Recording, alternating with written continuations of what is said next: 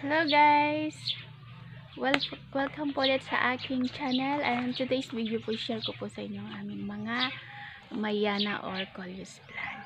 Ako po muli si Marchar at ito po ang aking si Kada.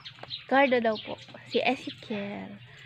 So, stay tuned po kayo.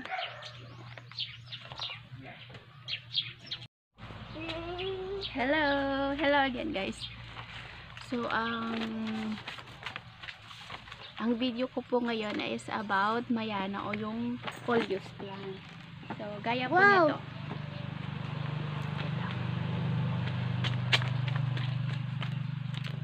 Ang sabi po nila, fact po about mayana is one of the easiest plants to grow, sabi po.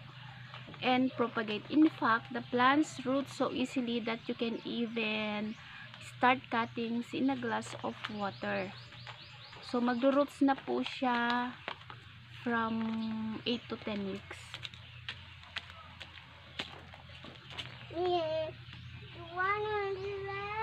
And fact about mayana pa, sabi nila, ang mayana daw po ay dapat sa indirect sunlight siya kasi madali pong mag mag malanta pag po direct sa sunlight. See, gaya po nito. Kaya pa nitong sa amin, nasa indirect sunlight lang po siya.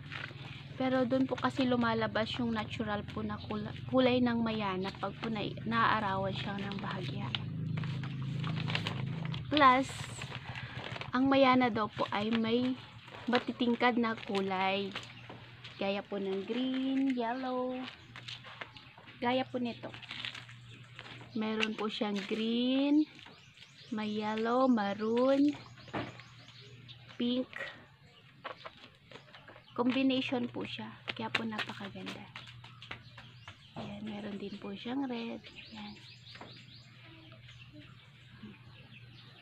Actually po dito sa bahay, I think meron na po kaming 26 na varieties ng mayana. At para po makita nyo, i-share ko po siya isa-isa. 26. Pero meron po kaming 36 na pots ng mayana. Ah. Tawagin mo si nanay. Nay. Meron ng daan. Ito po, kulay red. Combination ng red and green. Mm. O, di po ba ang ganda? Red and green po ito. Bakit anong pangalan mo? Dito sa Marceline.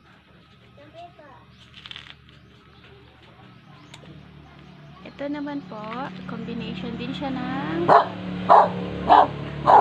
pink, red. Ay, ay, ay! Sus! Green. Tayo na na kung tayo. Hmm, kaya manang nakonta. Ayan, wala. Pink, red, and green.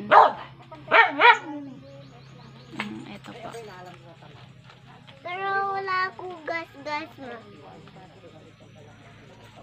Saglit lang. Welcome po ulit. Ito po yung mga mayana ko pa siya. Ayan, yung kulay white anak. No. Yan. Ito. Yan. Yan. Ito. Na. Ito po. Ito po ay combination ng white and green. Ito po, napakaganda po ng bulaklak niya. Kulay purple or violet. Baby. Purple. White. Tapos, ang leaf niya po ay, ito po, white and green combination po siya ng white and green. Hmm. Yan, yan. Kita ko po sa inyo. Yan.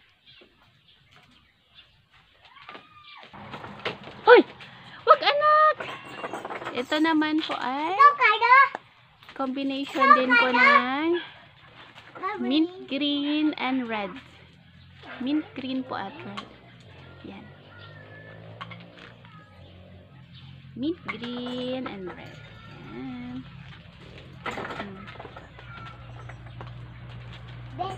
Yan po.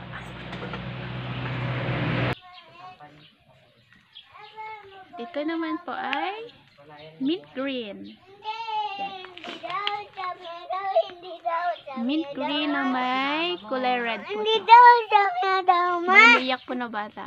Ah, Yan. Mint green. Ay, mama, hindi ayaw daw naman. And next po, tara! Ito naman po ay kulay maroon. Maroon, combination po siya ng green. At ang stem niya po ay parang pink. Pinkish. Ito po.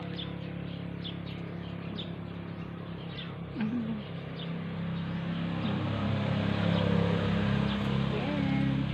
Ito. Napakaganda niya po.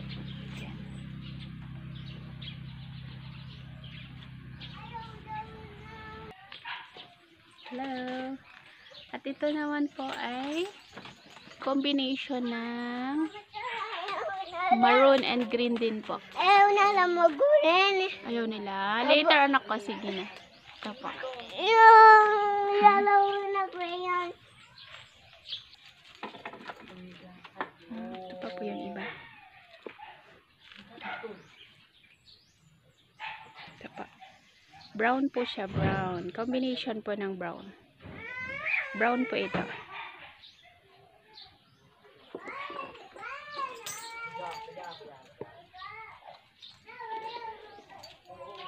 Ito, brown din po siya.